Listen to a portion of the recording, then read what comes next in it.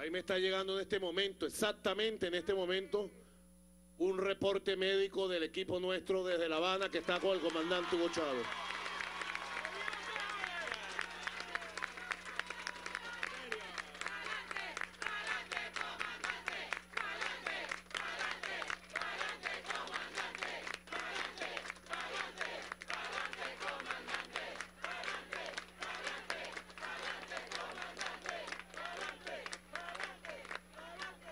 Antes de leerlo,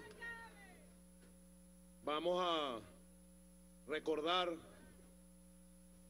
que nuestro comandante Hugo Chávez ha dado y está dando una gran batalla con disciplina, con fe, por su vida, por su salud, atendido con el mejor equipo médico multidisciplinario de este mundo, hombres y mujeres formados en las mejores universidades de La Habana y del mundo, que lo hacen no solo con conocimiento científico, sino lo hacen con lo más grande que pueda tener un ser humano dentro de sí, que es el amor más puro, la lealtad más pura a la amistad verdadera por el comandante Chávez por Venezuela. Y con la atención permanente del comandante Fidel Castro, del general del ejército Raúl Castro, a quien le enviamos desde aquí, desde el corazón del llano venezolano, nuestro abrazo de agradecimiento, de solidaridad y de reconocimiento. ¡Que viva Fidel! ¡Que viva Cuba! ¡Que viva, Chávez! Por siempre.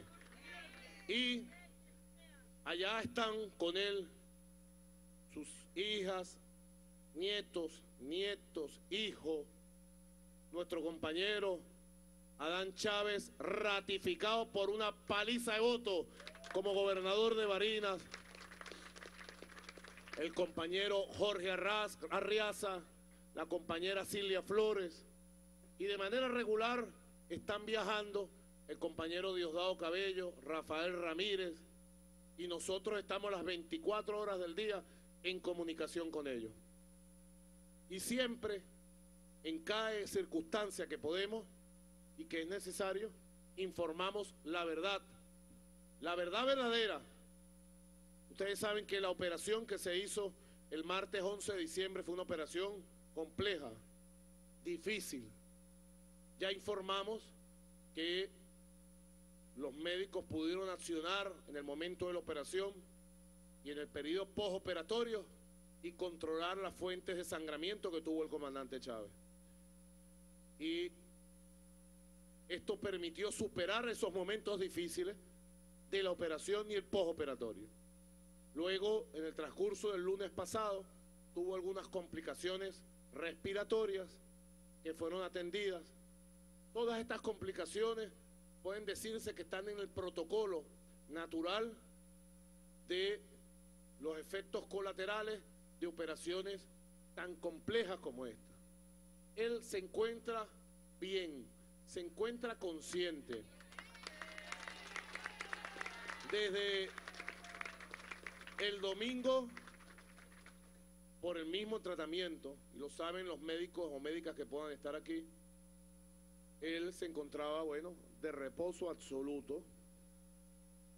Me informan que ya se le dio el reporte de la victoria del domingo pasado y ha expresado una gran felicidad y un agradecimiento profundo a todo el pueblo, a todos los hombres y mujeres de nuestra patria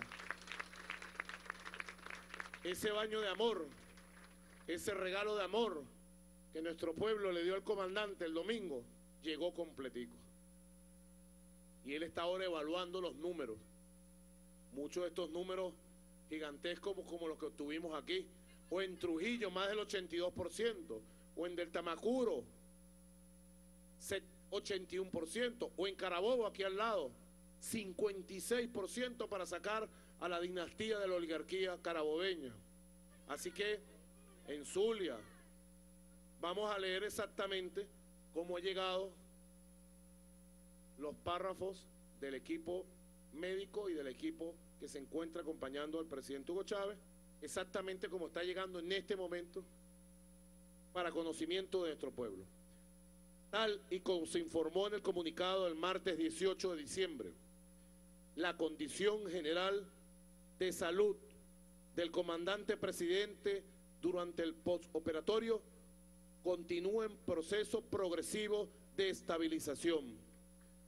La infección respiratoria diagnosticada sigue siendo tratada y controlada por el equipo médico mediante un y, mediante una rigurosa y constante metodología de seguimiento de la misma. El presidente sigue cumpliendo su reposo absoluto, acompañado por sus familiares más allegados, quienes le informan constantemente de la situación del país y de la acción y gestión del gobierno bolivariano. La Habana, 20 de diciembre del año 2012. Este es el último reporte que acabamos de recibir y quisimos compartirlo con ustedes. Y